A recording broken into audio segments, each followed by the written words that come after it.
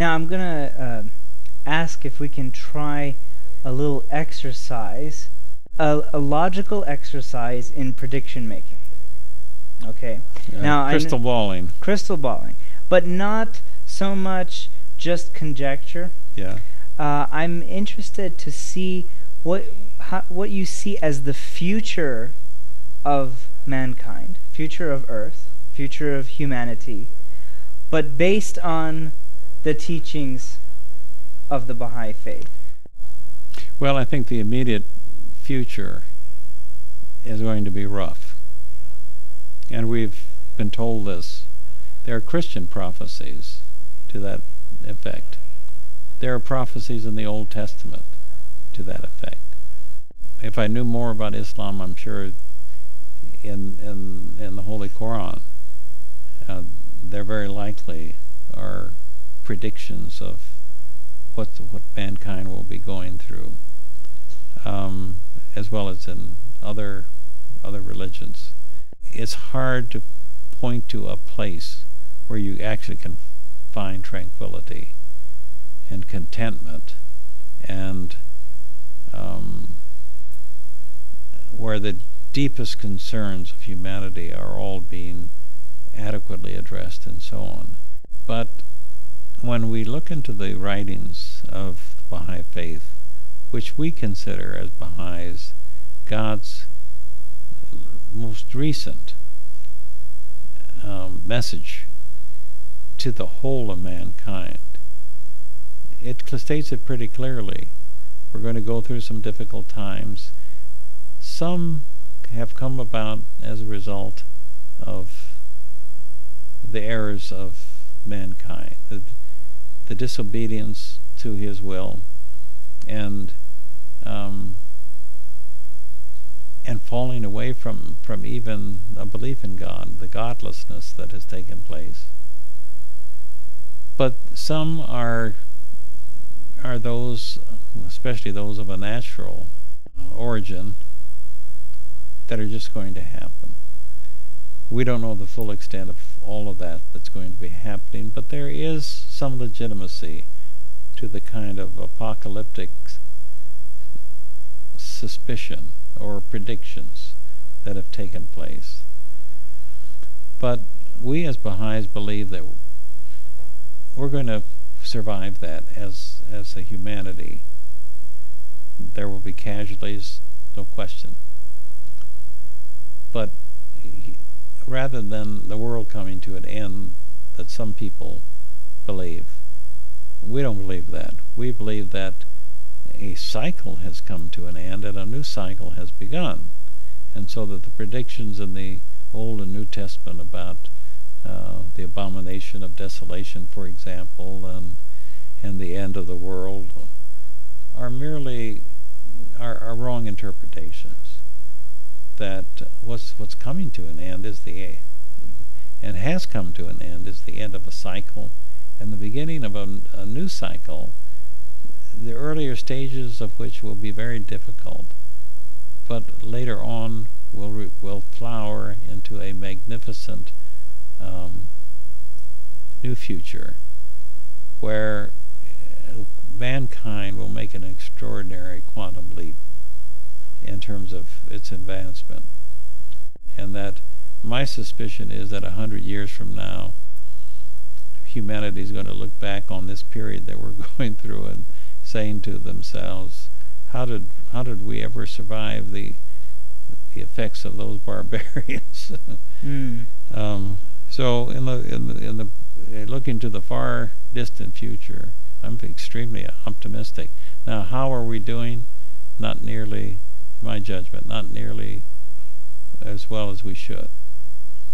We have choice. I mean, we God gave us uh, self uh, self-determination, will, and um, we've dragged our heels so many, so many junctures in this process, and um, and and we've made the wrong choices.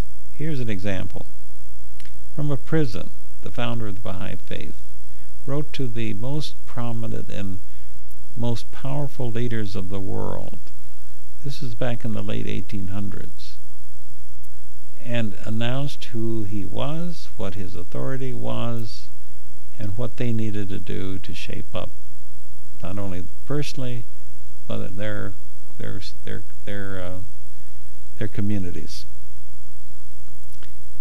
He asked them to seek um, that that uh, address the problems of the poor, address to resist the inclinations towards excessive materialism, to not fall into the pattern of of amassing huge armaments that would cripple economically cripple their countries. I mean, look what what we're doing right now. We're we're so much in debt, and Russia almost completely collapsed because of their arms race with the United States. I mean, all of this advice he gave in the late 1800s to the crowning rulers of the world. And with only one exception, the rest either ignored or rebuked him. The only one who didn't was Queen Victoria, who said, If this be of God, then it, it will endure. All of the rest, interestingly enough, were had such power, such absolute power and authority at that time that with a stroke of the pen they could have instituted such widespread and dramatic social reforms that would would have made the present an entirely different world than that which we're experiencing right now. They could have spared mankind a lot of heartbreak, a lot of hardship, a lot of persecution, a lot of deaths. What we're saying is that could have been the beginning of the most great peace already back then. That's right. And now, because that's not hap- has not happened, what is the, the path? Well, we're, we've been told what the path is. Our job is to spread the word of Baha'u'llah it's you know it's interesting. Truth is not negotiated. No. It's discovered. That's that. That really is key. Mm. So um, we have we have been given the gift of choice, and we've chosen we've chosen not to choose or or to make a decision, or we've chosen the wrong thing. Napoleon III said, when he received his message, he said, Well, if he's a prophet of God, then I'm too. Such arrogance. And you know, he had such absolute power and authority. And within a very few years, he was imprisoned. He lost all of his power. They had the chance to make this extraordinary and dramatic change The institute this change for the benefit of humanity. And with one exception, they chose out of arrogance and ignorance and pride to um, the alternative. Now, what is the the lesser peace? And the lesser peace will be a political peace. Political peace. And it's when suddenly, through fear, for no other reason but through fear, fear, of the total extermination of humankind on this planet, we will be forced to forge uh, incrementally those kinds of agreements that ultimately will lead to at least yielding some degree of sovereignty to an international body who will then have the authority to um, intervene and um, uh, arbitrate among nation states when two countries are at each other's throats. And should they decide a non-peaceful resolution, then that world authority will have at its uh, beck and call an international police that can be called upon to keep those two countries from going at each other militarily. So the impetus into the lesser peace is fear. That's right. And would you say that the impetus, or this is what I recall, the impetus into the most great peace would then be love? Absolutely. Hmm. Well, um, I think that really concludes uh, concludes our wonderful well, discussion tonight. Let me just make one one statement as kind of a, a very brief kind of summary. Please. Education. We started out talking about education and then moved towards education and the Baha'i faith and so on. I would like to kind of conclude by saying that in the Baha'i writings is found the most extraordinary endorsement of the role that true education must play and will play and has to play in helping us work through these problems. In no other revelation is there such an incredible and total endorsement of the importance of education. Baha'u'llah says that God's supreme gift to man is his intellect, the gift of understanding, because understanding, it's ignorance that has caused these problems, and it's through understanding and the development of our capacity for consciousness that uh, we will eventually work through these problems and uh, set mankind in a direction that's for his benefit.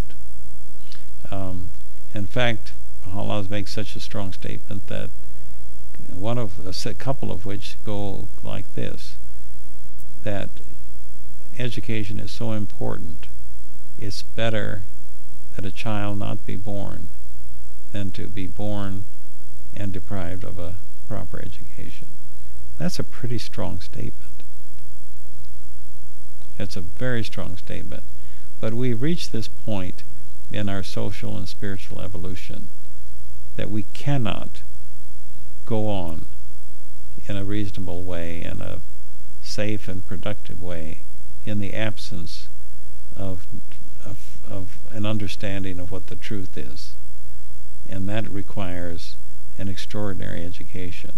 And the transfer that has taken place in physics from a mechanistic to a holistic organismic philosophical and theoretical foundation, that same change needs to, this is how tying both topics together, that same change needs to take place in terms of education because so much of contemporary as, uh, education is based upon a, a mechanistic, reductionistic view of reality.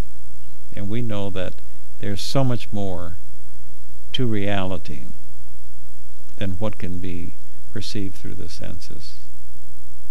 Um, that's going to be the most exciting venture that humankind will be taking in order to be able to act on the extraordinary promise and the principles that are represented in this latest revelation.